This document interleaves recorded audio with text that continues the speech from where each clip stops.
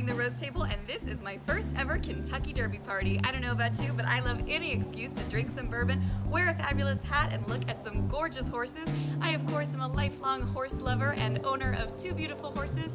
Today, though, they are not here as we are in my own backyard, which is my favorite place to entertain, and I'm cooking up some southern treats for you. We're gonna pour some juleps, and then we'll be off to the races.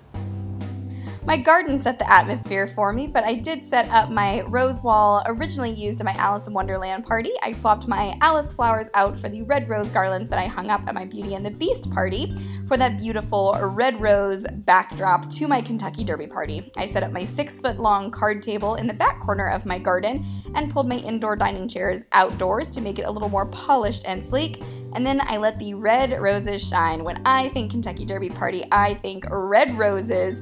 So, of course, I had to have a ton of those.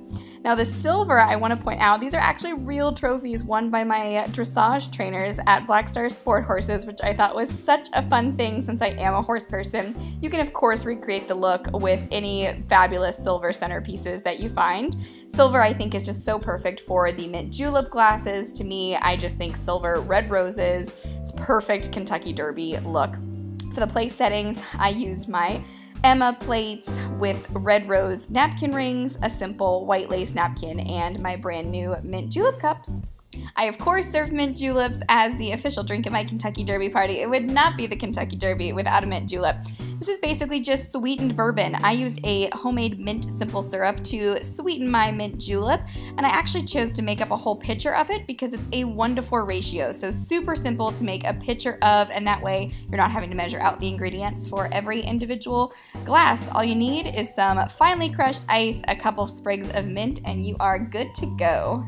I didn't want anything too heavy or too filling for the first course, so I started off easy with some bacon and chive deviled eggs. These were so good, super creamy. The filling has uh, Greek yogurt actually, so they're a little bit healthier than your normal deviled egg with champagne vinegar and some Dijon mustard. And then, of course, you've got that nice crunch from super crispy applewood smoked bacon and a little hint of chive from the garden on top. Mm. It's the most delicious deviled, deviled egg I've ever had. I agree. Ah! I agree. And I'm a connoisseur. For the main course, I served a truly southern dish, chicken and waffles. These are my homemade chicken tenders on a pile of pimento cheese on top of a homemade yeast Belgian waffle smothered in bourbon maple syrup with a sprinkling of chives from the garden. This is so good. Now, I did not think that maple syrup was gonna work with pimento cheese, but just trust me, the first time I took a bite of this, I was absolutely transported. It is so delicious. I'm gonna show you a little bit of how it's done walk and talk. Walk and do a walk and talk. I am so excited about these waffles. So one fun thing, I make Belgian waffles, I mean, easily once or twice a month. And chicken tenders, I have actually been making these organic chicken tenders for, oh gosh, I don't know, since I was in my first apartment, I guess. Um, but we're going to make them for the first time on the rose table right now. So the key to making homemade chicken tenders is to have your station set up ahead of time. So I like to set it up just like this, where you're going to take your wet ingredients, your chicken tenders, you're gonna shake off the excess, you're gonna dredge it in some seasoned flour, then put it in some beaten egg, and then finally some panko breadcrumbs, and then toss it in the hot oil. I put my friend Candy on waffle duty while I was manning the chicken tenders. This batter is super easy to mix up the morning of your party, and of course, for all of the full recipes, you can go to therosetable.com. So for our main course, I went super, super southern. So we have a delicious overnight yeast Belgian waffle topped with pimento cheese, my homemade organic chicken tenders, and a bourbon maple syrup. So Yay. let's yes. do this. Game on. The chicken tenders are nice and crunchy. You've got the creaminess of the pimento cheese, the nice fluffy waffle, and then the warm maple syrup. It's amazing. I mean, come on. I need a minute just about compliment. This is my first time to have chicken and waffles. What? what?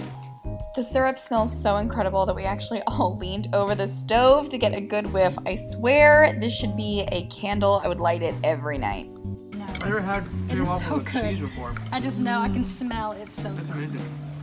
So for dessert, we have a mint julep brownie explosion. This is a mint bourbon brownie, dark chocolate, of course I only ever do dark chocolate, with a bourbon whipped cream and a peppermint hot fudge sauce. So enjoy! The brownies themselves have both bourbon and mint in the batter, and then I use a biscuit cutter to cut them into rounds, and then pipe the whipped cream on top, which I think turns a simple brownie into such an elegant dinner party dessert. Then I added a mint sprig garnish, just like a julep, and a drizzle of my homemade peppermint hot fudge sauce, which actually keeps for weeks and is fantastic over ice cream. So Candy, I'm so excited that you were able to come to the Kentucky Derby party because you are my biggest bourbon I am. friend. I you and am. I were bourbon girls. We are. The Kentucky Derby is is after my own heart. I love everything Kentucky Derby related. I love I love a deviled egg. You know, I'm a connoisseur. Mm-hmm. And I truly, truly, these were the best deviled eggs I've ever had. And I it's such a classic menu item. It's so easy. It's easy to mm-hmm. prepare ahead. I- I think everybody was fighting over them. So if you don't make this recipe, I mean, you're missing out. I've never had a mint mint julep before, but I'm a sucker for bourbon. What? now you've had uh, seven. I've no six. I'm working on my seven. um, no, it's it's really good. I mean, it's it's sweetened bourbon, and mm-hmm. it's I would The say it's, quintessential I would say it's Southern drink. dangerous. Mm. And I, I like that you tied the bourbon throughout the entire meal, the drink, the dinner, the dessert. It was mm-hmm. a nice, a nice theme throughout. It was just perfection. Gosh, dinner was phenomenal. Just Yes. I, I didn't expect the the mixture of the the pimento cheese and Yes. the syrup and all of that to kind of really blend well together. It but- was my first time to have chicken and waffles, and it was mouthwatering, and I cleaned my, my entire plate. I think I made soup. Yes. With the amount of I did like Bourbon three plus boomerangs and I was like, I love the um, the crispiness of the chicken. Ooh, so good, so good. I'm a sucker for the dessert though, so I have one more bite of that. I've just been all about this brownie. I couldn't even wait to serve it because I've just been so in love. I'm glad I got to test this with you. Um, and, like, So I got triple. Irene's my official taste tester, pretty much. we live like 10 minutes apart, so I'm always calling her and I'm like, come test this for me. We've had better weather. No. It's literally perfect outside. so I really like the atmosphere, like the garden and like the fireplace in the back. It's a really nice touch. So cheers, uh, cheers to the Yes, horses to then. the Off to the Derby. races. Cheers. Thanks for having us. Thank you.